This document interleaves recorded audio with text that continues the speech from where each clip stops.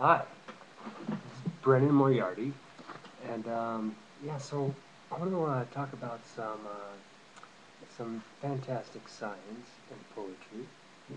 Um, and I just thought I was recording and I wasn't, so I hate it when that happens. I was out of range. Um, so um, yeah, um, and sometimes I'm out of sorts. I'm in the wrong location, you know. The, the good room doesn't have internet, so sadly. Um, okay, so I want to say that I am like a really, really good person with the most incredible intentions that can possibly be, and to do science of this. I've been working on this for a long time, uh, maintaining my youth, I guess, and um, and that's that's that's like an athletic um, and intellectual and um, cultural uh, reality. Okay, so um, uh, I'm looking at my notes, and in this room they don't make any sense. So go figure. So this this is what I'm trying to what I'm trying to um, make happen is um here we go. Is uh is I, I need I just need um, boy it's just not working in this room but basically I need to um, um, to be I, I have very little needs. I, I'm a better listener than I am a talker. When I talk people don't really they, they get more confused. Um, and but when I listen, you know, even if someone is rambling on or defective or something like that, there still can be some truth there, or you can realize, okay, this person is actually deranged, you know, because this can happen um, just about anyone, really.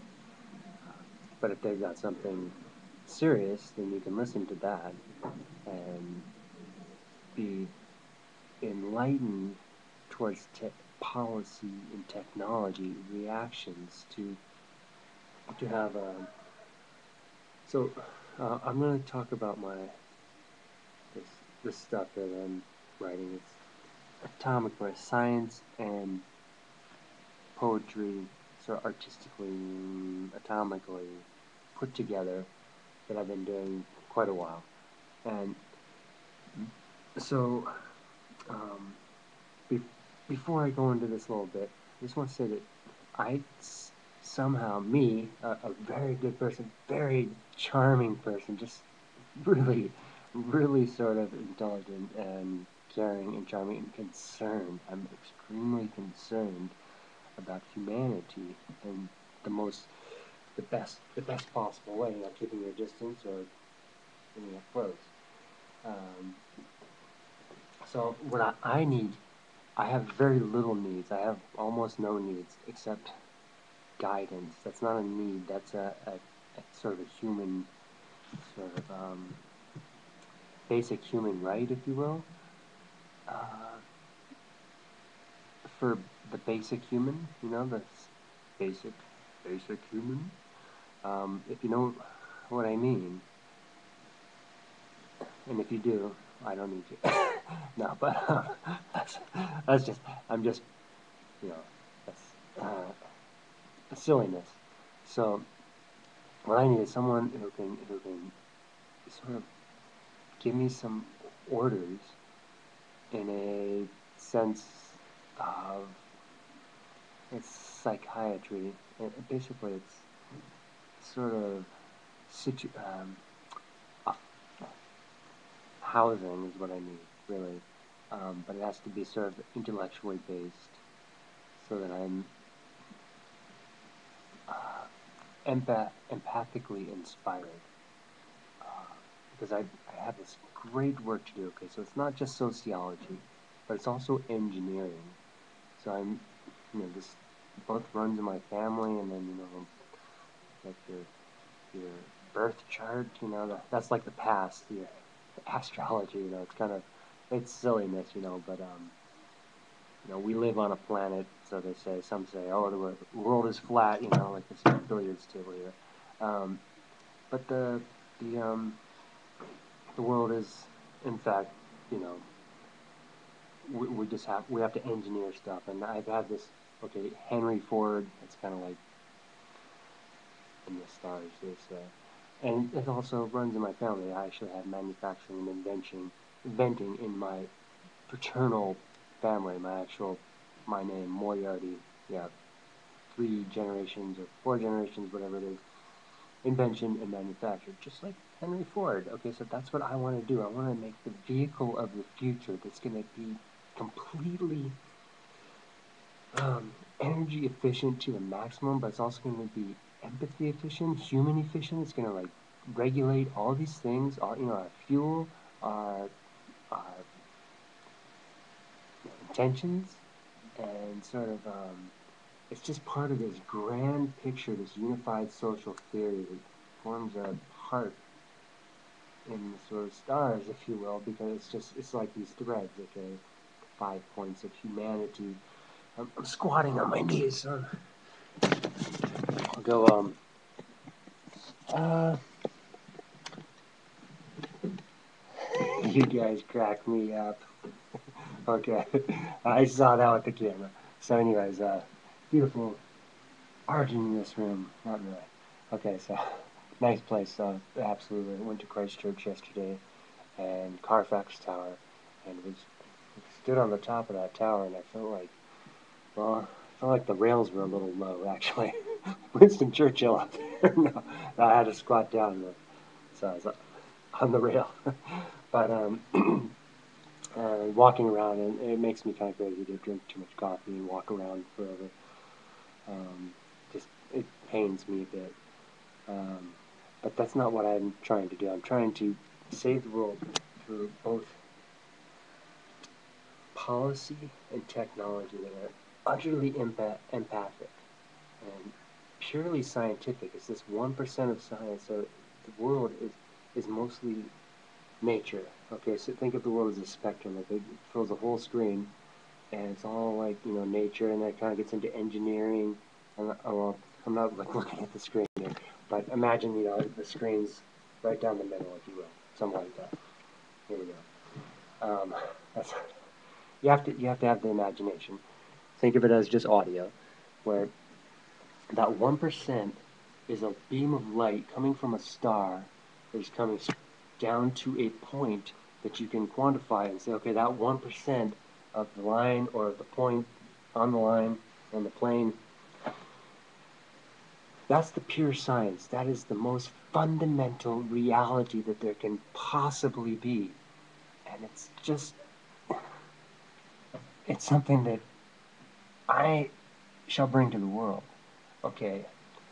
However, you know, you know, looking over my shoulder, you can tell.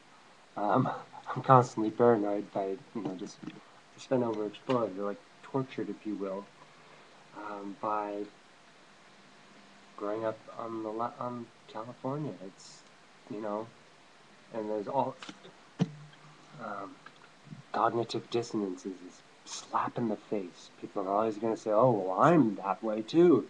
And it's like, no, you're not, okay? I'm like extremely intelligent and I see this stuff and I just have to put up with it. And it's like the torture that I've gone through that's made me the one. The one, okay? And so I have no needs except for guidance. I need a flat. I need, to, I need someone to have a doctor um, um, blind, blinding blinding light. Okay, right in right in the light. That's what the doctor is to me, um, and not psychiatric. It's just pain. Okay, so I'm not no, and I'm not doing not even drinking anymore. Know, my tobacco is you know, but um, even caffeine. I have to maintain not walk my feet into bloody stumps, okay, or shin splints, you know. Um, but uh, but so I'm in the epicenter of the world right now. Um, try and hold on for a while now. Yeah, I'm gonna hold on. Uh, but what I, the, the ultimate plan, the, the sort of functional plan of dynamic function, is for me to have some place that I can come to that is dynamic. Okay, that is really, you know, that I'm not looking over my shoulder. That I have a real private place. That I'm not, you know, dominating this place, but I have access to it. And big desk space with a lot of light, you know, a little bit of private lighting so that I really have this ability to think and talk loud with, um, and still be able to be wherever, you know, bicy- you know, 10 minute bicycle ride into town, that's, that's fine. But the idea is that I'm only here for a little bit, and then I go off to um, somewhere on a bus, you know, basically. Um, I, am in the ancient academic center of the world right now. That's why. Maybe I'm looking good. I like this shirt and tie, don't you? Or uh, shirt and jacket. So, um, I want to sparkle, but I want to do it safely. I cannot stand on the street and sort of, you know, go um, nuts and stuff like that. And so, um, uh, what I have to do is, eh, so if I get to some kind of place, then I will go off and come back, and that's that's the idea. That's that's sort of the dynamic function, because then you have these visions, and I'm like this in, intense, intensely concerned person, just and dynamic. Okay, so oh, so let me let me read you some of this. I'm, I'm squatting again. Okay, so uh, cultural, cultural empathy and geographic psychopathic normative ignorance via unregulated, i.e., psychotic, manifest destiny. Geographic empathy and general empatheticness. Pathetic policy of pathological perfection. Okay, that's that's how. That that might take a second to sink in. I'll, I'll probably type that up and um, but you know, we're talking about reason and empathy or freedom, but on the paradigm of cultures that I've been listening to, um, angels and music, lim, blending words. I don't want to say anything, you know. I don't want to sound psychotic. Like, what year? It's a new year, right? Don't don't say. Don't tell me what year it is, because I don't want to know. um, uh, uh, so, um, yeah, and so, you know, good clothing, it's good, but it's like the threads of humanity is, is that grandest, grandest thing. Um, okay, so, um, oh yeah, so I just, I wrote down my little, my demands. My demands are small, private, flat, slash apartment with private, well-lit, long desk space, and lit shelving. Internet. Mm-hmm. Yeah, the internet was um, for a good person. Um, so that's that's what I'm kind of looking for, and know, hold off. You know, hold out. I'm gonna hold off. I'm gonna I'm gonna I'm gonna dive in. Yeah, no no off in. Uh, and um, so I'm gonna um, respect is all I have, you know.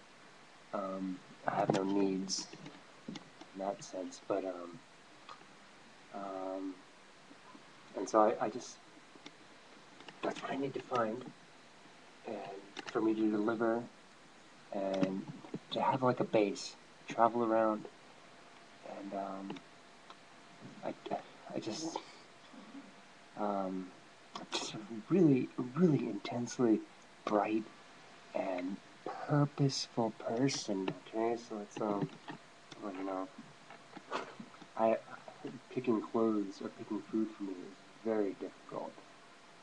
Changing the channel on TV, I can do that like a dream. Okay, but um, and so that's why I'm trying to do the, writing in that same spectrum and quantifying that one percent that comes down just with perfect, with imperfect empathic perfection. And so I don't know if the audio is very good, but you have to turn it up. Thank you. And um, we're not mm, probably going back to the. Um, well, I've got my own little room for a couple days. Uh, one more day, I think, and then um, I don't know. I'd, like to just find some place and then go off to Ireland and um, or Germany. And there's, I just can't go to America because it's inaccessible without major reservations. okay.